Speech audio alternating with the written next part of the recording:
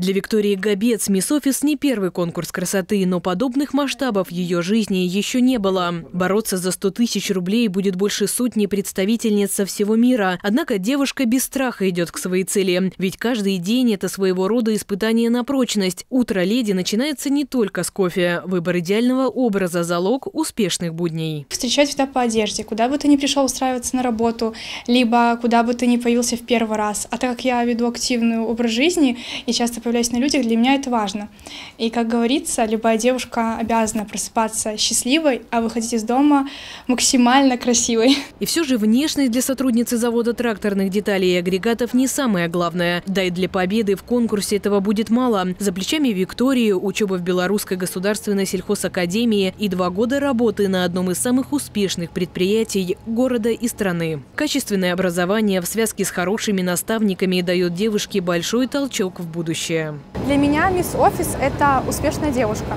Это девушка целеустремленная, она уверена в себе. Помимо работы у нее есть много увлечений, у нее нет свободной минутки, она постоянно чем-то занята. Главная задача в офисе – обеспечить филиал материальными ресурсами. На плечах экономиста лежат общение с поставщиками, закупки и совершенствование зарплат. Работа хоть и непростая, но приносит удовольствие и, что куда важнее, пользу. На завод Викторию Габец привело распределение, а заставили остаться хорошие условия и дружный коллектив. На предприятии очень поддерживает и вышестоящее руководство, и коллеги.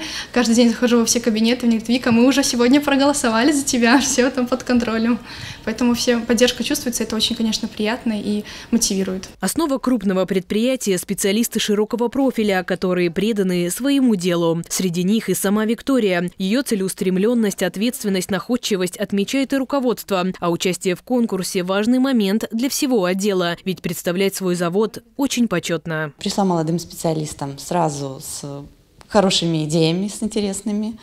И, наверное, участие в конкурсе как раз одна из этих идей, которую она сама для себя захотела реализовать. Создан свой чат, Telegram, в котором каждый день все сотрудники завода за нее голосуют. Мы действительно очень поддерживаем. Отдать свой голос можно на сайте международного конкурса до 9 октября. Главное шоу пройдет в Москве 19 ноября. Мисс Офис объединяет сотрудниц различных организаций по всему миру. Участницы проходят несколько испытаний, до финала доходят лишь 30 девушек. Каждая из них хочет и может получить денежный приз, роскошную корону и всеобщую любовь. Карина Гуревич, Максим Галеонка, Бобруйск, 360.